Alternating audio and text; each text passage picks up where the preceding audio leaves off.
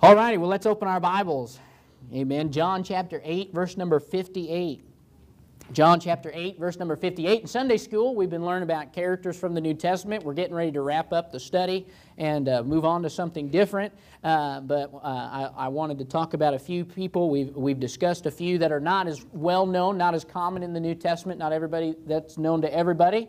And then uh, last week, we talked about uh, taught about the devil in the New Testament and where he's mentioned and, and what about him and what's going to happen to him. Amen. Old uh, smutty face going to get cast into the lake of fire for eternity. Praise God. Amen. And, but now, uh, this week, we're learning a little more about some major characters. We're going to learn uh, a little bit about Jesus in the New Testament and what he says about himself. I love this study. Uh, and this is a great study, but we're going to learn about Jesus this morning. And of course, we know Jesus is the Son of God. He's God Himself. He's been around since time began. Hey, Jesus is not confined to just the New Testament. We know that. Jesus is in the Old Testament and in the New Testament, uh, and He's been around since time began and, and until time will end. Amen. And I'll show you something about that. Revelations chapter 1, verse number 8. Let me, let me turn there real quick before we read that verse. Revelations 1 8, just to show you, give you a verse there to, to use. Jesus says here, Revelations 1 8 says, I can get it, there we go. He says, I am Alpha and Omega, the beginning and the ending, saith the Lord, which is, and which was, and which is to come, the Almighty. Amen. So that's a good verse there. What a blessing. Jesus, He is, amen, that's the present. He was, that's the past, and he is to come. Amen. Jesus is coming back. Amen. And so he uh, and so Jesus is eternal. And so, but we're going to see a little bit of what he says about himself in the New Testament. Obviously, there is the, the Bible is about Jesus. Amen. So there's so much we could go through, but we're going to use uh, stay in the book of John and just kind of use Jesus says here, John 8 58. It says, Jesus said unto them, Verily, verily, I say unto you, before Abraham was, I am. In the book of John, you'll find this statement by Jesus, I am, more than any other book of the Bible. This comes as a reference. Jesus said this to the Jews specifically. He said, I am specifically, because in Exodus chapter 3, verse number 14, and we're not going to stay in the Old Testament, uh, but Exodus 3.14, it says, And God said unto Moses, this is Moses talking to the burning bush, and Moses said, if I, if I talk to the people, what will I tell them? He said, what do I, who do I tell them sent me? And he, God says unto Moses, I am that I am.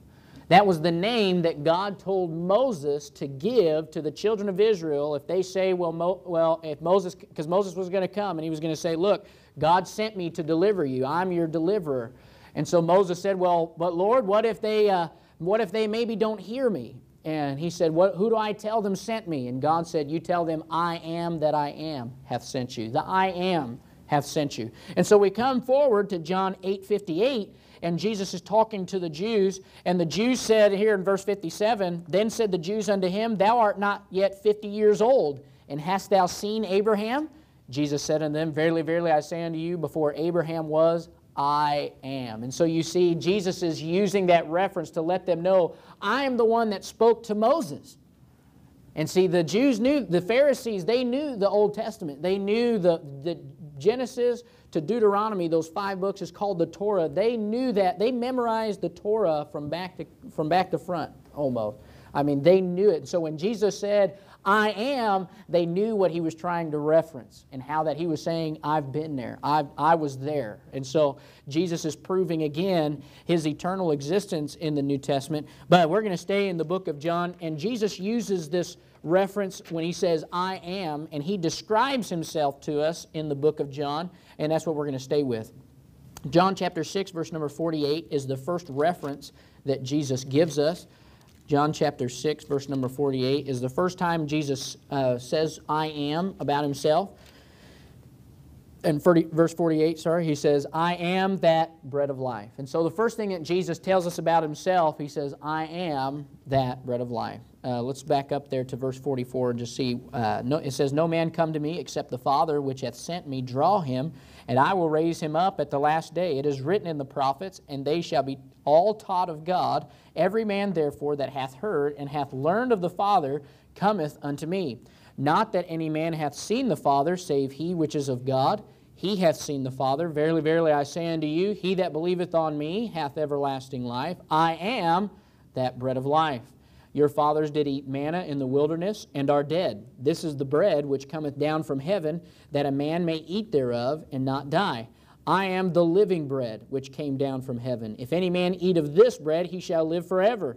And the bread that I will give is my flesh, which, will, which I will give for the life of the world. Amen. What a, what a blessing. Jesus is the bread of life. This is referring to about salvation.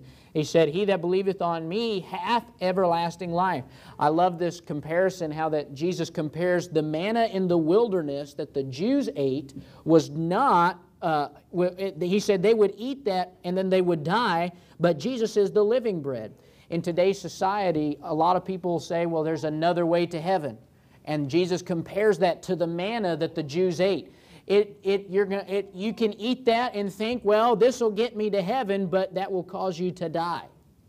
Jesus is the only living bread. Amen. He's the only one you can go through for salvation. The Jews ate the manna that God sent them, but that was a physical manna. Jesus is a spiritual bread, not a physical bread.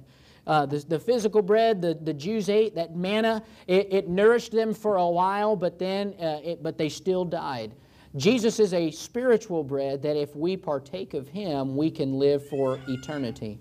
So, a lot of people eat manna today in the sense of they're eating the manna of their works and they're eating the manna of, they're eating the bread of, of, what, of their church membership and their baptism and all of those things, and it's getting them by, but one day they're going to die from that and spend eternity in hell. Only Jesus is the living bread that will give you eternal life. Uh, also, this is a reference how that Jesus is a spiritual bread. There are a lot of uh, religions that say you can take a, uh, a bread and it become Jesus and all of this uh, and all of this stuff, and that's not true. Jesus says, I'm the living bread, but he's talking about a spiritual bread, not a physical bread. We're, when we take the Lord's Supper, like we get to tonight, amen, May the 1st, I'm excited about that. We'll get to take the Lord's Supper tonight as a church. When we take that, it's not the literal body of Jesus, it's a picture of Jesus Christ. The bread is a picture of that Jesus, the living bread, and it reminds us of Jesus. Some try to teach that this bread becomes Jesus after you take it and all of this stuff, and they try to use this verse to say, well, you have to partake of that to get Jesus. And Jesus said, that's not it. He that believeth on me, hath everlasting life. The, the, the, the focus is on whether you believe. And so Jesus gives us this illustration how that he is sal- how that he is the only way to heaven and salvation is through him and not through either your works or some like the like some teach through that bread or that wafer, amen. Uh, and, and things like that. We're going to move on. John chapter 8 verse number 12. John chapter 8 verse number 12. What else Jesus says about himself? He says here, Then spake Jesus again to them, saying, I am the light of the world. He that followeth me shall not walk in darkness, but shall have the light of life. Amen. So Jesus compares himself. He's the bread of life. And here, he's the light of the world. Amen. He's the one that the world dwells in darkness because of sin. And Jesus came to bring light. Amen. To show us the way. The Pharisees, in verse 13, the Pharisees therefore said unto him, Thou bearest record of thyself Thy record is not true. Jesus answered and said unto them, Though I bear record of myself, yet my record is true. For I know whence I came and whither I go. But ye cannot tell whence I come and whither I go. So again, Jesus is showing them his eternal existence. He says, I know where I've come from and I know where I'm going. He's like, You haven't got a clue. Jesus says, I'm the light of the world. I'm the one that will bring salvation, but I'm also the one that after you're saved, you can walk in me. He says, He that followeth me shall not walk in darkness. You can walk after Christ and not dwell in darkness. You don't have to wander around the, this planet thinking, Where am I going to go? What do I do? Why am I here? What's my existence? Jesus is that light that we can walk after and shed light on our lives. Amen. For, uh, and, and for where we, where we are to go. Amen. He's the light of the world. But we also are the light. I was going to show you something. Uh, Jesus is the light of the world, but then we're going to turn over to uh, John 9 5. John chapter 9, verse 5. This is a neat verse. The Bible says, as long, Jesus says, uh, we'll start in verse 3. Jesus answered, Neither hath this man sinned nor his parents, but that the works of God should be made manifest in him. I must work the works of him that sent me while it is day. The night cometh when no man can work. As long as I am in the world, I am the light of the world. Remember how in the, in the New Testament, we won't go there, Jesus, he commands us that, he, or he tells us, you're the salt of the earth, and then he says, you're the light of the world. We are God's light because Jesus physically is no longer in this world. Jesus is in heaven, seated at the right hand of the Father. He died, gave his life on the cross, shed his blood, rose three days later. Now he's in heaven. Jesus is no longer physically in this world. Now he is spiritually, his presence, the Bible says he's omnipresent, he's everywhere, he's with us also on the inside as a believer. But physically, he's no longer in this world. So we now are his light to the world. You now are God's light. Jesus commanded us, he said, Ye are the light of the world. While Jesus was here, he was that light that people could go to, get direction. He instructed the disciples. After he left, now we become his light. But it's Jesus really being the light through us. You are, because you have Christ on the inside, you are now his representative. His light is to shine through us. That's what makes the difference. If we try to be a light in and of ourselves, it won't work. But if we yield to the Holy Spirit of God to help us be a light to this world, then God allows His light to shine, and that's what makes a difference. That's what will draw people. People will see you and say, There's something different. Not because you're anything special, but because you allow Jesus to shine through you. Notice how Jesus compares, though. He says, I must work the works of Him that sent me. Jesus was a light, but what was a light was His works his light, but what he did. Amen. His death on the cross, his healing people, all of those things drew people, showed Jesus, showed the world who he was. A lot of people say, well, I can be a light but never do anything for God. And that's not true. Jesus was a light and he did the works of him. It says, I must work the works of him that sent me. So if you don't do what Jesus asks, you're not being a light. Because Jesus said, I must work the works of him that sent me while it is day. The night cometh when no man can work. One day, Jesus is coming back. That's the nighttime. You, we won't have a chance to be a light. There will be no more chance. This world will be gone. The Holy Spirit is going to be taken out of this world. The saints will be raptured up, and no longer will there be a light in the world. So we have to work while it is day. It's comparable to the story of how that uh, uh, Jesus talks about the sower sowing the seed and all of those things. You have to work in the daytime. When it's nighttime, you can't work. When comes the night, that's when uh, you rest. And one day there will be a night for us. There will be a day of rest. Thank the Lord. Amen. We'll be in heaven and no longer, no more pain, no more sorrow, no more tears. We'll be able to rest.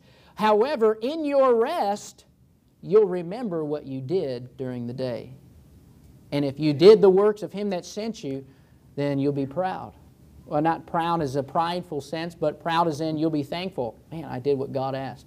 But if you were unprofitable, if you weren't the light that you should have been, then you'll remember that for eternity. God says you'll remember because God is going to reward us for our works.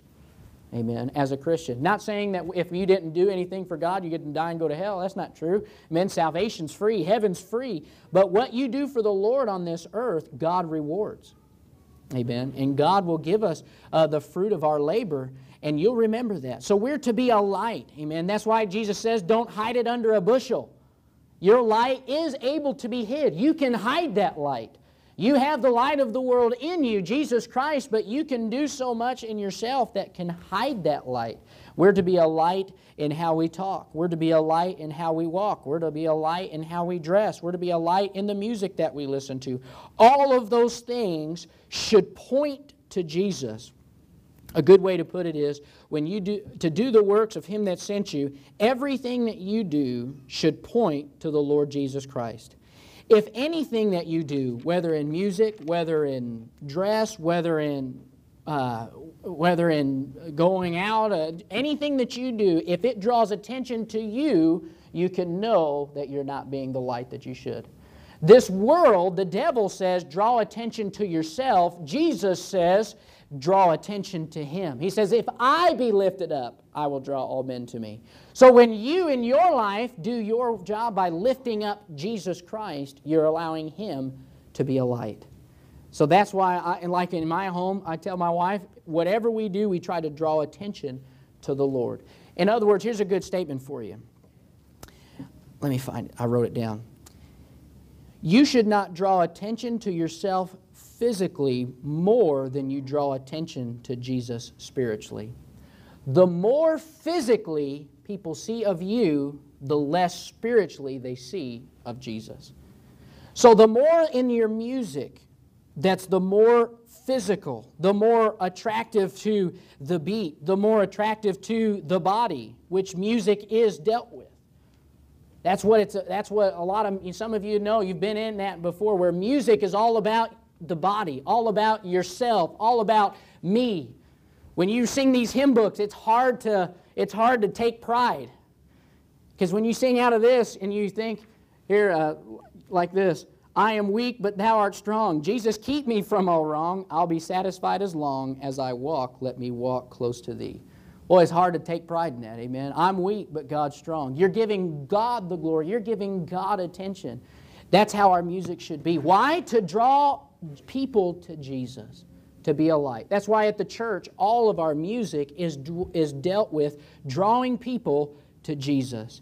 Now, a lot of churches will compromise and allow these rock bands and all this stuff to come into church. You know why? Because they can't gather a crowd because people aren't getting saved, people aren't changing, and people don't want that. So they use contemporary music and all this stuff to draw attention to the body, make people feel good, but it doesn't last. That's that manna we were talking about. It lasts for a little bit and then it dies, and then they, they're, they're not spiritually satisfied.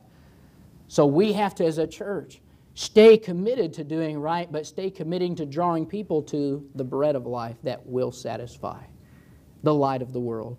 Amen. And again, not just our music, amen, that's one area. Our dress, how we look and how we act in this present world will either draw people to Jesus or draw people to ourselves. That's why, with my wife, whenever she walks out the door, I take a good look at her up and down because I want to make sure that nobody is drawn to her. I don't want somebody's eyes on her. I want them, when they see her, to see Jesus Christ. Same with me.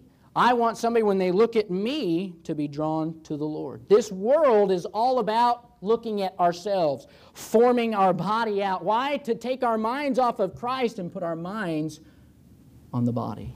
That's the flesh, that's the devil at work. So be careful because the more, like I said, the more you draw attention to yourself physically, the less people's minds are spiritually. That's why we're supposed to be a light. Jesus says, I'm the light of the world. And God wants us to be a light, amen, because people need to be saved. Lives need to be changed, amen. People are out there, they're hungry for the gospel but they'll not get it if we're not the light that we should be. Jesus said, Don't hide it under a bushel. Don't take the light that God's given you, the precious light, and hide it and say, Well, you know, I, am not. Now, now, people can be saved, sure, but not as much as could be as if you let your light shine. Boy, what a big responsibility we have, amen, to let our light shine. Uh, you know, we, we've been given that task by the Lord, amen, as a church to let the light shine. Amen. We got to keep moving. John chapter 10, verse 7. John chapter 10, verse 7 says, Then said Jesus unto them again, Verily, verily, I say unto you, I am the door of the sheep. All that ever came before me are thieves and robbers, but the sheep did not hear them. I am the door. By me, if any man enter in, he shall be saved, and shall go in and out and find pasture. The thief cometh not, but for to steal and to kill and to destroy. I am come that they might have life, and that they might have it more abundantly. Boy, what a, what a neat uh, illustration here the Lord gives us of Himself. He's the door of the sheep. He is salvation. You have to go through Him. No other way to heaven. All that's ever come before Jesus are thieves and robbers, He said. All these other religions that try to tell you there's another way besides Jesus are compared to a thief and a robber. They're trying to get what belongs to God. He says, But the sheep did not hear them. He says, I am the door. And then look, he says, You shall have life and have it more abundantly in verse 10. Amen. So Jesus wants to give you life, everlasting life, and he wants to give it to you more abundantly. In other words, not just in heaven one day, but Jesus, while you're on this earth, he says, if you go, you go in and out and find pasture. While you're on this earth, Jesus wants you to have life. Amen. Not live around like the world where they live in death. The world lives in death. They live in sin. Sin brings death into their lives, and there's all these problems and all these heartaches and all the things that go on. But Jesus wants to give us life, and He wants to have it more abundantly. He wants you to dwell and, and feed on green pastures, the Bible says. He wants us to go in and out and be able to find pasture through Him. But you can only do that through Jesus. You can find contentment through the door. You can find happiness. You can find joy. You can find peace. But if you go to anybody else, even as a sheep, because see here he says, All that ever came before me are thieves and robbers, but the sheep did not hear them. So even as a sheep, even as a part of God's fold, if you leave for, for a time and go to somebody else to find something, you're still a sheep. Praise God for eternal security, amen. You're still a sheep. You're still in the fold of God, but you won't find pasture you won't be able to grow. You won't find the pasture that God has. The world says, well, it's greener on the other side, but when you get there and you try to get what the world has, you'll find there's nothing but a barren desert. People have been trying to feed on what the world wants to give them for years, and they're never satisfied because there's nothing. The world is empty, the world's vain, has nothing to offer, but God says, You'll find pasture with me. So, even as a sheep, even as of the fold of God, we must be careful because we want to stay close to the Lord. Don't let the thieves and robbers come and make you think, well, we have something that you don't. Sometimes even churches do this where they try to say, well, we're a good church and we but we compromise here in little things, but it's okay. God says no. God's blessing's not on that. God's blessing's not on a church that doesn't stick by the book. Amen. Sometimes they tell you, well, you can find greener pastures in a different version.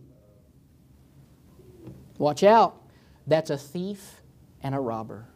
Because they have changed God's word. And I'm going to bring a man in here soon. His name is, uh, uh, oh, wow, just slipped my mind, Miss Houston. I'm sorry. Uh, uh man, he just came. But anyway, he does a big KJV Bible display and talks about how much that uh, the uh, he's an evangelist and how much that they've taken out of the Bible, and he shows you and compares you verses to verses and things. It's it is it is neat. He has Bibles all the way back from William Tyndale all the way up till the last time, who remembers when Walmart printed out their 500th anniversary of those little uh, Bibles and stuff? It was neat. I've got one in my office. They printed them out, sold them, and stuff. But he's got everybody i mean from i mean and actual copies they've been uh, put and sealed and all this it is it is a neat thing to see how god has preserved his word.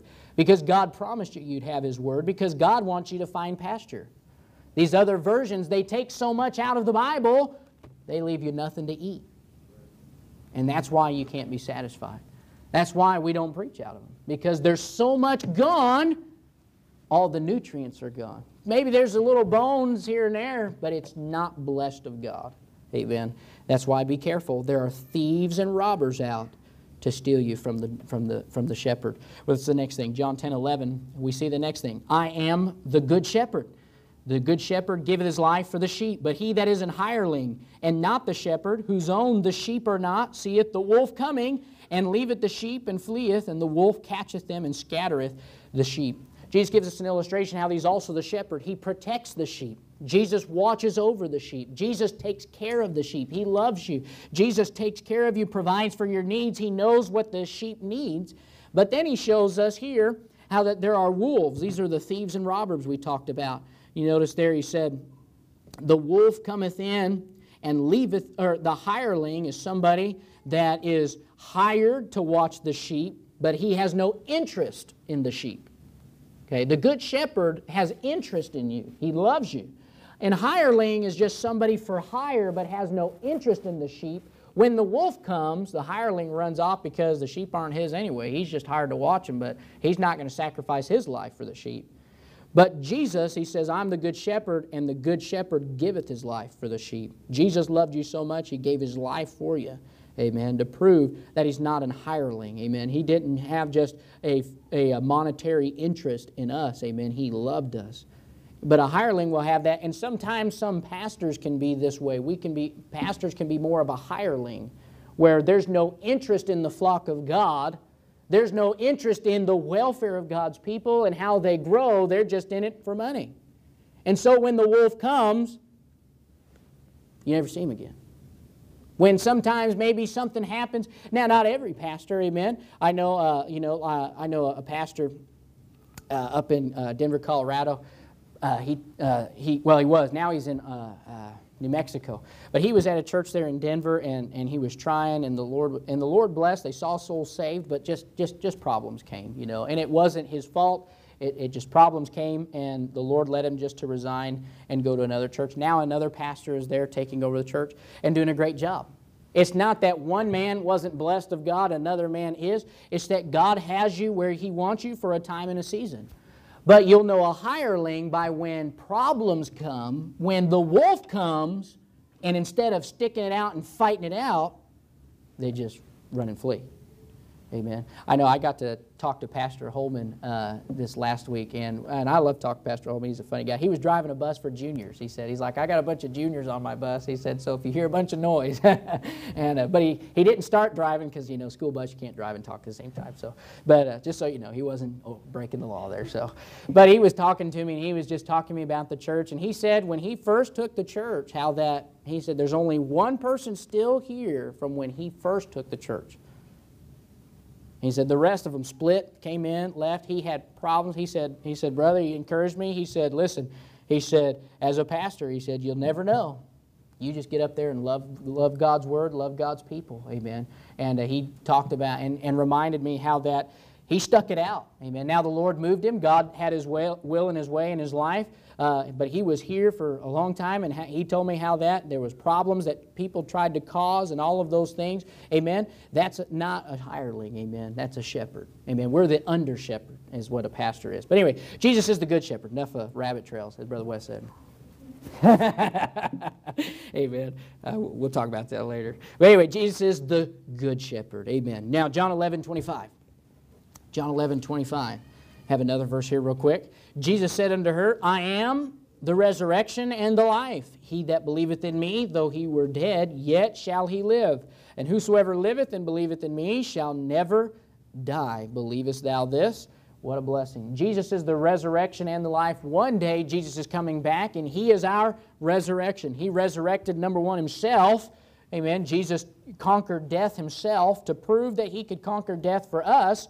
But when Jesus comes, He's our resurrection. The only reason we can have a resurrection, the only reason we'll get to spend eternity in heaven is because Jesus is our resurrection. If somebody relies in something else than Jesus, they will not have a resurrection. Simply put, if you rely in a church, you'll not have a resurrection. If you rely in baptism, you'll not have a resurrection. If you rely on anything else, funny how that all these things point to how Jesus is for eternal life. Jesus is the only way. But then he shows us another thing. He says, and the life. He that believeth in me, though he were dead, yet shall he live. And whosoever liveth and believeth in me shall never die. So we have a contrast. We have he that believeth in me, though he were dead, yet shall he live. Paul said, I die daily. Paul said, I die to the flesh to live for God. So Jesus said, if you believe in him, though you're dead, to yourself physically in this world. You, you die to the lust of the flesh, yet you live unto Christ. Because when you live to the flesh, ultimately it brings death.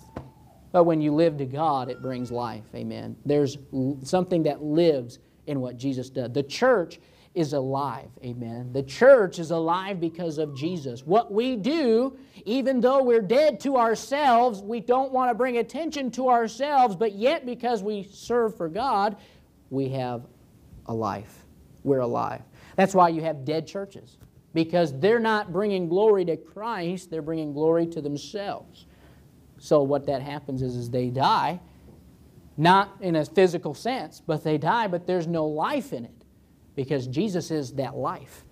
And then we have, see, and whosoever liveth and believeth in me shall never die. Now, is that saying that that doesn't mean we'll have your funeral? No. Saying you'll get to live for eternity. There are two deaths in the Bible. You have your physical death, and then in Revelations chapter 20, there's the second death. That's hell. Amen. Jesus says, if you believe in me, you'll live for eternity. You'll have everlasting life. Amen. It's not saying that your physical body won't pass away. Some people misunderstand this and say, well, if you're really saved, maybe you live eternal. Maybe you're, you're immortal. no, we know it's not true. Amen. Otherwise, we're all in trouble. no. But Jesus said it's not that, it's that you'll live for eternity. You'll have everlasting life. Hell is considered everlasting death. Yet you live for eternity, but that's not life. It's an everlasting death. Now, it never ends. It's a death that never ends. Your physical death is a time that has a beginning. When, you, be, you, when you're born, you begin to die. The, moment, the, the day you're born, your body begins to die. And then the day you die is the end. That's the end of physical death. That's, that's the sting of death, the Bible calls it. The, the death has no sting for a Christian because once you're dead, you're still alive in heaven. Amen. You, li- you have everlasting life. But if you die without Christ, you have everlasting death. It's a death that has no end. It is not life. People say, well, you want to live eternally in heaven or live eternally in hell. It's not really that you live. You die eternally in hell, is what it is. It's an eternal death, eternal damnation. And so that's the difference, amen. When you, you, it's not saying in me you shall never die physically, but you'll never die. In other words, you'll never have that everlasting death, amen. What a blessing. Praise the Lord. I'm excited about that. John 15, 5, amen. John 15, 5, the next thing. Uh, or and this uh, this is kind of all in one. Jesus come. Uh, uh, or I'm sorry, John 14, 6. I apologize. This isn't the next thing. But John 14, 6 kind of sums that up. Jesus saith unto him, I am the way, the truth, and the life. No man cometh unto the Father but by me. It's a good verse to use, how that Jesus is the way, the truth, and the life. He's all of it in one. Amen. And uh, there's no other way. And now John 15, 5 is the next I am. Jesus, uh, John 15, 5, Jesus says, I am the vine, ye are the branches. So then Jesus compares himself when you're saved. He's the vine. He's where your nourishment comes from. You're the branch. The branch cannot bear fruit of itself. The branch alone will wither and die. But when a branch is connected to the vine, life comes. So, as a Christian, if you try to live this world of yourself, you're going to wither and die. Now, not saying that you're going to lose heaven, but what it's saying is your spiritual life will just will be nothing. You won't have a, you're not spiritual because you're not connected to the vine. That's why people that say, well, I, I can have church at home your spirit, their spiritual life, that's why they don't know what they believe. Their spiritual life is just withered. Why? Because to be connected to the vine, you've got to be at God's house. To be connected to the vine, you've got to be in God's Word. To be connected to the vine, you spend time in prayer. All of those things connect you to the true vine. Amen. Notice how Jesus says, Every branch in me that beareth not fruit, he taketh away. And every branch that beareth fruit, he purgeth it, that it may bring forth more fruit. So if you're a branch, you're all branches this morning. There you go, new revelation for you. You're a branch. And uh, I'm trying to start to look like a branch with this smoothie thing. I'm to be walking up your little stick. My brother now is a branch. Let me tell you, Mitchell, I got to have him. Uh, Wes met him, but some of you haven't met my brother Mitchell. He's just skinny twig, man. I tell you, you just want, and he's just done. And, uh, sorry. But, but we're all branches this morning.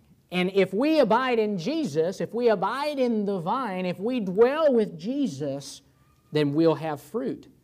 And when you have fruit, it says, He beareth fruit, He purgeth it. In other words, He makes you better so you can bear more fruit. So when you as a Christian go through times of purging and you say, well, I don't know really what God's doing, just know that God's doing what's best because He wants you to bring more fruit. God has to make you look different when you purge. God has to make you act different when He purges you. All of those things is God purging you to bring more fruit. If you are a Christian that does not allow God to purge and you don't bring fruit, then eventually the Bible says He taketh you away. Not saying He takes salvation, salvation's guaranteed for eternity, but in other words, you spiritually are of no use. Sad we could get to that point where we could spiritually be of no use to God. But God says there, are, there is a time when a Christian, now very rare that a Christian becomes absolutely of no use, but it happens. Where a Christian gets so hard in their heart to God, they don't care. They say, God, I don't care. And then God says, All right. And God removes that branch. Very sad. I've seen it happen. It's very sad. But you watch people's hearts get hard. They get hard at the church. They get hard at the pastor. They get hard at the Word of God. They just get hard. and eventually God removes them because now they're not helping. And uh, now, and the good thing is you can be restored. Amen. If you do get right with the Lord, you can be restored, but it happens where God takes away the branches. Now, look there, verse 4 Abide in me, and I in you, as the branch cannot bear fruit of itself, except it abide in the vine. No more can ye, except ye abide in me. You cannot bear fruit of yourself. If you're not abiding in Christ, there's nothing you can do to bring spiritual fruit. If we as a church don't abide in Christ and allow God to have His way, then there will be no spiritual fruit at this church. We have to abide in Christ. When I go sowing, I'm always praying and I ask God to help me and to use me, and I yield myself to the Lord because I know I can't bring forth spiritual fruit. I got to go sowing this past week, Mick Markell, and, and, uh, and I got to go sowing on Thursday, and then Friday it rained and rained me out, and we couldn't go and do as much as we wanted to. But I got to three, see three people saved. Why? Because I, was, I told God, I said, I can't do it. God has to do that work. God has to bring people. Amen. I got to see Tony saved, a man with no legs. And uh, he was riding his uh, scooter down the thing. Mm, he's driving down, driving down the road. And uh, it was right before I stopped and met you, Markel. That's what it was. Tony, he was driving down the road. Mm, it was cool, man. That little thing was moving. I was like, I need one of those. Drive around the church. Mm, and, uh, and he was moving and he stopped and he and I got to give him the gospel. And then I met another man, Michael, yesterday. And I asked him, I said, You know, if you died, you'd go to heaven. He goes, no. I said, well, would you like to? He goes, oh, yeah. So I took the Bible, showed it to him. I said, now, would you like to ask Jesus to come in your heart and save you? He goes, yeah. it's funny. And uh, I was like, hey, amen. Praise the Lord. And, uh, and he got saved yesterday. He's supposed to come to church uh, uh hopefully next week, but, uh, but be in prayer for him. But, you know, but again, we can't bear fruit of ourselves. We have to abide in Christ. Keep moving on. I'm sorry. Verse 5. I am the vine, ye are the branches. He that abideth in me, and I in him, the same bringeth forth much fruit. For without me ye can do nothing. If a man abide not in me, he is cast forth as a branch and is withered, and men gather them and cast them into the fire, and they are burned. This is not an illustration. A lot of times, let me help you, a lot of pastors will tell you if you don't work for God, you, you don't, you don't, you're not saved. And this is what they try to use and say the branches that aren't uh, abiding in Him, they're cast forth, they're withered, and they're burned, and they go to hell. Bunch of nonsense, okay? Baloney, malarkey, they don't know what they're talking about. They don't read their Bible, okay? The Bible not, is not talking about if you're saved and you don't abide in Christ, then you lose your salvation. If that's true, then throw the whole Bible away because, God's, because God lied to you. Okay, that's not how it works. Okay, if you go and you and you leave the church and you don't do all this, and I come to your house and visit you, and you're like, Pastor, I'm sorry, I'm not in, I'm the worst Christian ever. That doesn't mean I'm going to come see you. Well, you're going to hell. Come on, come on. Jesus is better than that. Amen. When Jesus promised you eternal life, He meant it. Amen. And uh, nothing amount of what you do uh, it, uh, physically is going to take that away from you. John 10 28 says, I give unto them eternal life, and they shall never perish. Amen.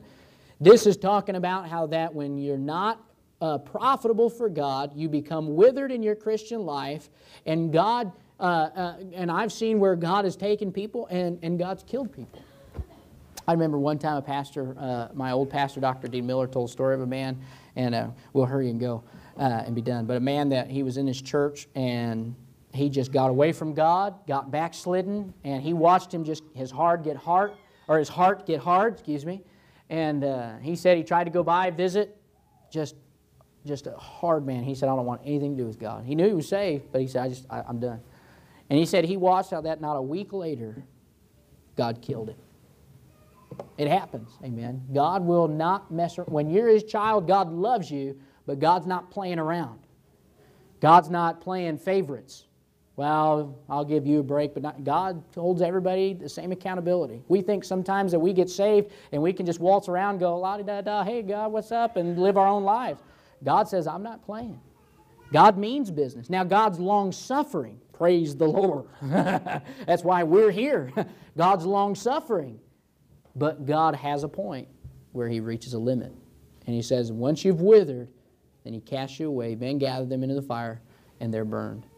What a sad day. And that's also a reference to one day when God sets on fire your works. God will give you your works, and the Bible says if it's hay, wood, and stubble, it'll burn, be gone, but if it's gold, silver, and precious stones, it'll stay. One day God will cast your withered life before Him and burn it. What stays is what you keep, what leaves is what you didn't do for God. So sad, uh, a sad illustration there. Anyway, um, and that's the that's the end of the I ams uh, that, that God gives us in, in the word uh, in the book of John. How, the rest of that is now going into Jesus' crucifixion and, and all of that. But those are the, the, the six I ams that Jesus gives to compare himself. If you want to know what it, who Jesus, uh, just if you want to describe Jesus, you describe him in those six I ams. Jesus compared himself. The best illustration is what Jesus said of himself I am. Amen. Best thing about it, Jesus is the I am for salvation. Amen. If you're not saved this morning, boy, this be a good day to get saved. Trust Jesus as your Savior. If you're saved, born again, let's be compelled to abide in that vine. Amen. Let's pray. Heavenly Father, Lord, we love you. Thank you for the day. Thank you, Lord, for the lesson we learned from the Word of God. Bless the morning service to follow. Lord, what a great morning that we have planned, Lord, and just all that's going to be done. Thank you, Lord, for the visitors being here, Markel, and thank you, Lord, for him being faithful and, and coming and being faithful to his Word. Bless the morning service, all that we do and say. We love you. We thank you. Ask all these things in Jesus' name. Amen.